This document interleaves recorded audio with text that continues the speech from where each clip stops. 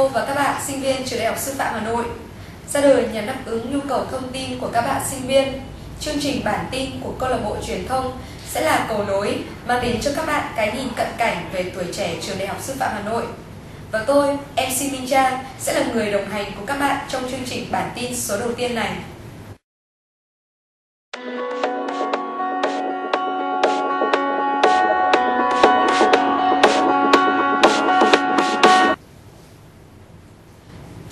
Bản tin ngày hôm nay, 30 tháng 4 năm 2013, chúng tôi sẽ mang đến cho các bạn một số thông tin đáng chú ý sau.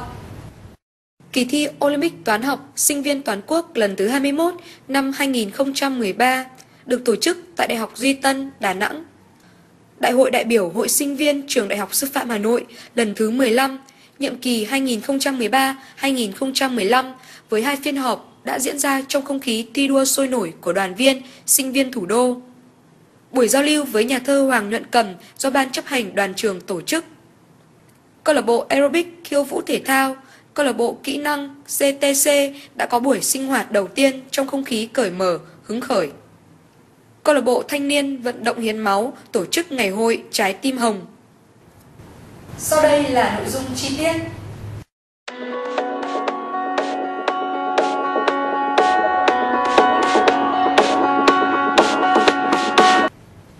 ngày 8 tháng 4 đến ngày 14 tháng 4 năm 2013, tại Đại học Duy Tân Đà Nẵng đã diễn ra kỳ thi Olympic toán sinh viên toàn quốc lần thứ 21. Đây là cuộc thi do Bộ Giáo dục và Đào tạo, Liên hiệp các hội khoa học và kỹ thuật Việt Nam, Trung ương Hội sinh viên Việt Nam và Hội toán học Việt Nam tổ chức, quy tụ những sinh viên đam mê toán học trên toàn quốc. Năm nay, đội tuyển trường tham dự kỳ thi với số lượng 7 thành viên đến từ K61, K62, lớp chất lượng cao khoa toán tin, với sự chuẩn bị chu đáo và tinh thần tự tin, đoàn trường Đại học Sư phạm Hà Nội đã đạt được nhiều thành tích cao. Hai giải đặc biệt, năm giải nhất, hai giải nhì, hai giải ba và một giải khuyến khích.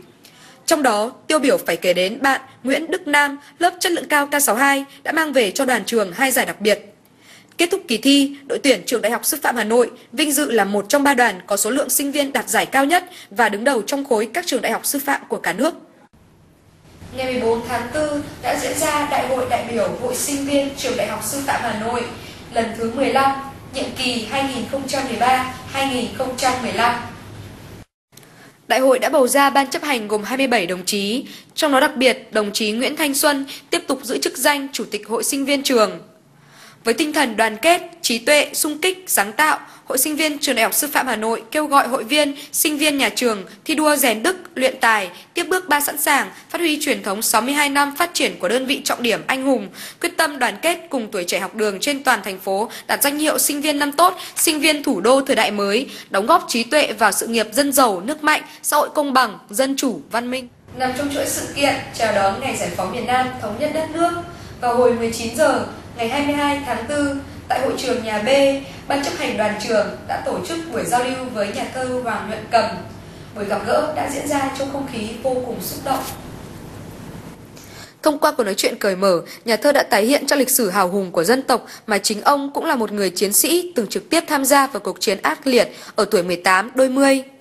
Trên hết, nhà thơ Hoàng Nhuận Cầm gửi đến tất cả các đoàn viên, sinh viên Đại học Sư phạm Hà Nội một thông điệp – Hãy yêu với tất cả trái tim, hãy trân trọng cuộc sống mình đang có và sống xứng đáng từ hành động nhỏ nhất.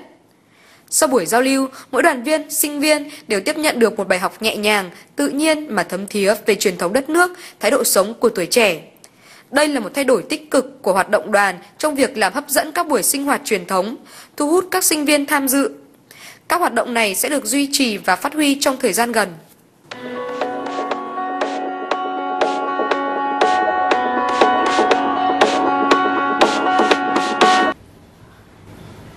Phát triển phong trào thể dục thể thao và thực hiện cuộc vận động sinh viên năm tốt, đoàn trường đã thành lập câu lạc bộ aerobic và khiêu vũ thể thao. Ngày 23 tháng 4, câu lạc bộ đã có buổi sinh hoạt đầu tiên vào lúc 18 giờ 30 phút tại nhà thi đấu Đa Năng. Trong buổi sinh hoạt đầu tiên, đã có gần 100 bạn sinh viên đến nhà thi đấu. Tuy có những ngượng nghịu ban đầu, nhưng nhìn chung các thành viên câu lạc bộ đều hứng thú và nghiêm túc tập luyện.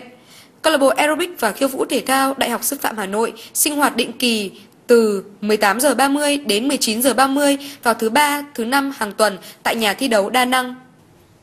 Cũng trong ngày 23 tháng 4, câu lạc bộ kỹ năng CTC đã có buổi sinh hoạt đầu tiên tại hội trường B1. Lễ ra mắt câu lạc bộ kỹ năng đã diễn ra trong không khí cởi mở, thân thiện với sự tham gia của hơn 30 thành viên đến từ các khoa trong toàn trường. Đặc biệt, đến dự lễ ra mắt có sự tham gia của Phó Giáo sư Tiến sĩ Công Khanh, Giám đốc Trung tâm Khảo thí và đảm bảo chất lượng Trường Đại học Sư phạm Hà Nội. Buổi lễ ra mắt cũng đồng thời là buổi sinh hoạt đầu tiên của câu lạc bộ. Qua đó, các thành viên trong câu lạc bộ đã nắm được những kinh nghiệm cần thiết để hoàn thành những mục tiêu mà bản thân mình ấp ủ và mong muốn thực hiện. Sinh viên sư phạm thì hầu hết các bạn đều có một cái ám ảnh với chính mình đó là bị kém kỹ năng. Người phải làm thế nào để hơn gần 10.000 sinh viên sư phạm có thể thay đổi được? Đó là một cái câu hỏi mà đoàn ban chấp hành đoàn trường cũng đang đo đó suốt thời gian qua và chúng ta là một giải pháp một giải pháp được gửi gắm niềm mong chờ vào trong ngày đoàn trường Ngày 25 tháng 4, câu lạc bộ Thanh niên vận động hiến máu đã tổ chức ngày hội Trái tim hồng lần thứ ba tại sân ký túc xá Trường Đại học Sư phạm Hà Nội. Ngày hội Trái tim hồng là chương trình truyền thống của câu lạc bộ Thanh niên vận động hiến máu nhằm thu hút sự quan tâm của sinh viên trong trường Đại học Sư phạm Hà Nội và cộng đồng trong hoạt động hiến máu cứu người. Trước và trong ngày hội đã có nhiều hoạt động tuyên truyền. Chương trình đã đạt được hiệu quả cao, vận động được nhiều đơn vị máu để cứu người bệnh. Hôm nay là chương trình hiến máu toàn trường ờ, lần thứ ba được diễn ra ờ, với cái thông điệp là rồi đến tương sớm này sẽ chia thì ờ, với không khí này thì tất cả mọi người từ các bạn có một cái năng lượng rất là lớn và có cái lòng nhiệt huyết để ờ, tạo nên thành công cho chương trình. Thì các bạn uh, đang rất là cố gắng trong các khâu từ khâu chăm sóc sau hiến máu trong hiến máu trước hiến máu và uh, khâu trao quà đăng ký thứ đi đang diễn ra rất là sôi nổi. Như các bạn cũng đang biết ở đây thì uh, mọi thứ đang diễn ra đều suôn sẻ và hy vọng là từ giờ cho đến đến cuối chương trình thì chương trình của mình sẽ đạt được kết quả thành công cao nhất bộ ngày càng phát triển và có nhiều đóng góp cho hoạt động của đoàn trường. Thông tin về Ngày hội Trái tim hồng đã kết thúc chương trình ngày hôm nay. Xin cảm ơn các thầy cô và các bạn đã theo dõi. Xin chào và hẹn gặp lại trong các chương trình bản tin số tiếp theo.